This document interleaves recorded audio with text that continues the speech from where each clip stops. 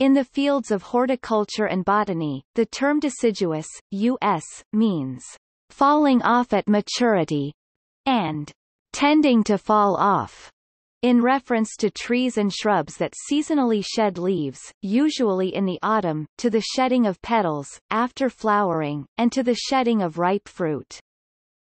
Generally, the term deciduous means the dropping of a part that is no longer needed, and the falling away of a part after its purpose is finished. In plants, it is the result of natural processes. Deciduous has a similar meaning when referring to animal parts, such as deciduous antlers in deer, deciduous teeth, baby teeth in some mammals including humans, or decidua, the uterine lining that sheds off after birth.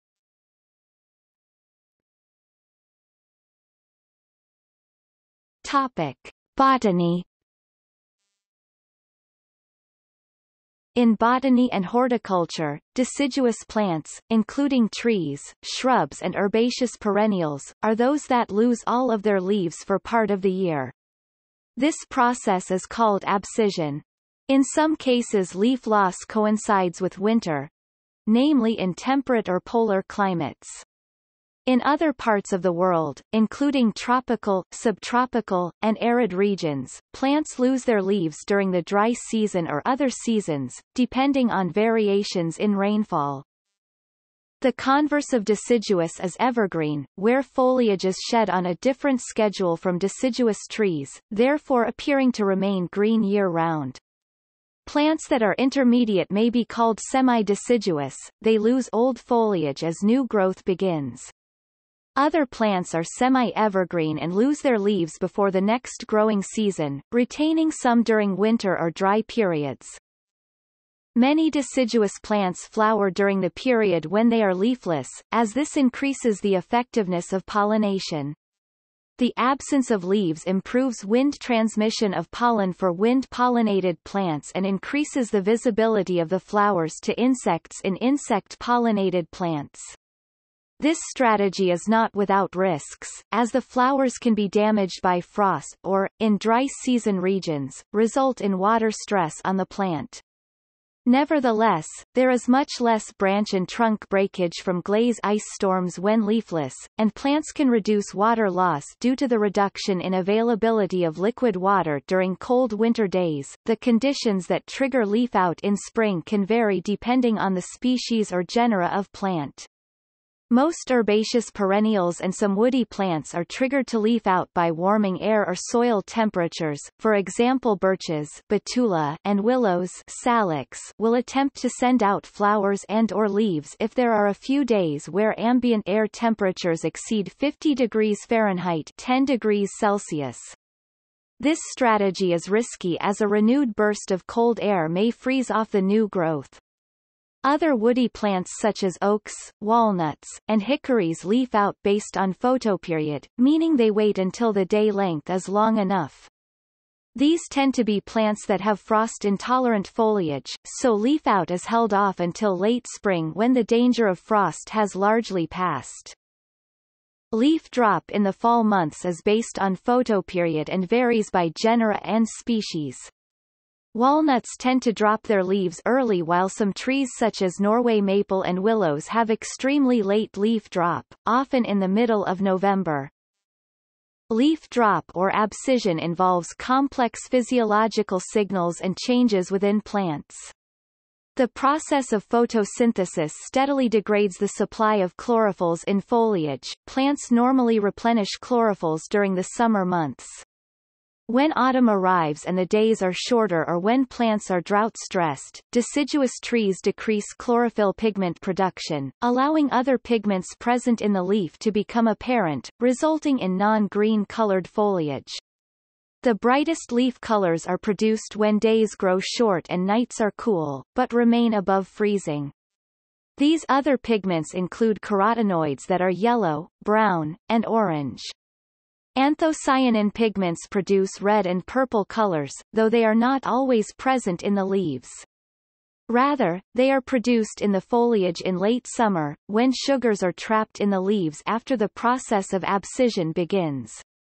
Parts of the world that have showy displays of bright autumn colors are limited to locations where days become short and nights are cool. In other parts of the world, the leaves of deciduous trees simply fall off without turning the bright colors produced from the accumulation of anthocyanin pigments. The beginnings of leaf drop starts when an abscission layer is formed between the leaf petiole and the stem. This layer is formed in the spring during active new growth of the leaf. It consists of layers of cells that can separate from each other. The cells are sensitive to a plant hormone called auxin that is produced by the leaf and other parts of the plant. When auxin coming from the leaf is produced at a rate consistent with that from the body of the plant, the cells of the abscission layer remain connected. In autumn, or when under stress, the auxin flow from the leaf decreases or stops, triggering cellular elongation within the abscission layer. The elongation of these cells break the connection between the different cell layers, allowing the leaf to break away from the plant. It also forms a layer that seals the break, so the plant does not lose sap. Some trees, particularly oaks and beeches, exhibit a behavior known as marcescence, whereby dead leaves are not shed in the fall and remain on the tree until being blown off by the weather. This is caused by incomplete development of the abscission layer. It is mainly seen in the seedling and sapling stage, although mature trees may have marcescence of leaves on the lower branches. A number of deciduous plants remove nitrogen and carbon from the foliage before they are shed and store them in the form of proteins in the vacuoles of parenchyma cells in the roots and the inner bark. In the spring, these proteins are used as a nitrogen source during the growth of new leaves or flowers.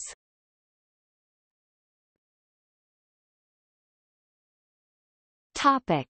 Function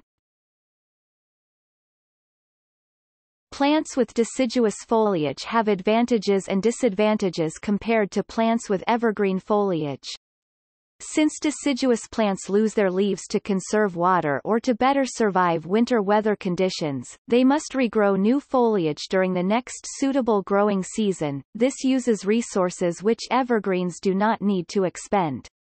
Evergreens suffer greater water loss during the winter and they also can experience greater predation pressure, especially when small. Losing leaves in winter may reduce damage from insects, repairing leaves and keeping them functional may be more costly than just losing and regrowing them. Removing leaves also reduces cavitation which can damage xylem vessels in plants. This then allows deciduous plants to have xylem vessels with larger diameters and therefore a greater rate of transpiration and hence CO2 uptake as this occurs when stomata are open, during the summer growth period.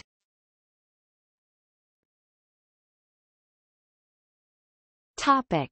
Deciduous woody plants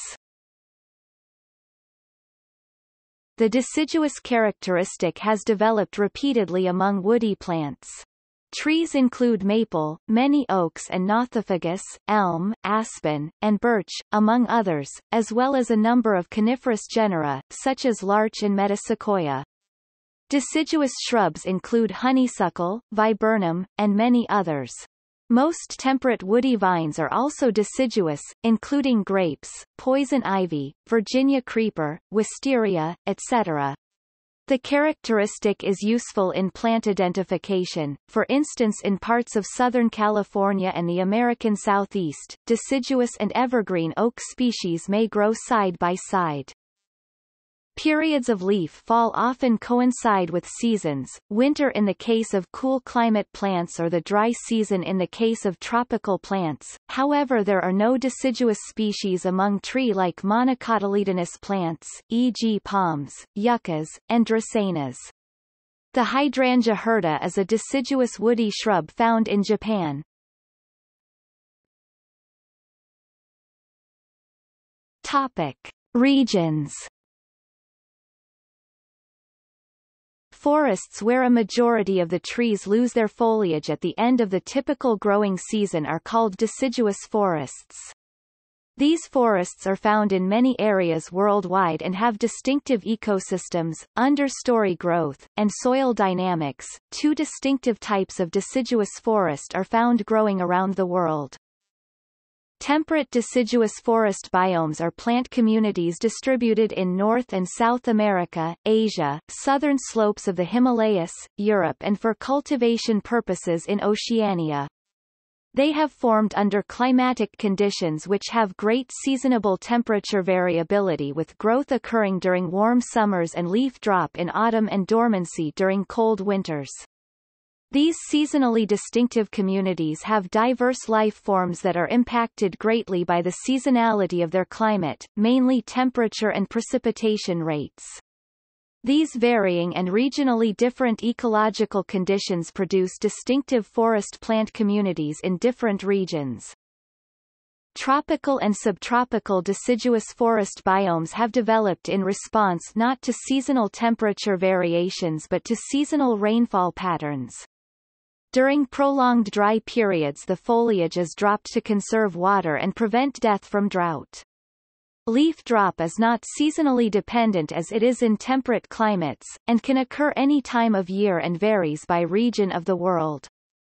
Even within a small local area there can be variations in the timing and duration of leaf drop. Different sides of the same mountain and areas that have high water tables or areas along streams and rivers can produce a patchwork of leafy and leafless trees.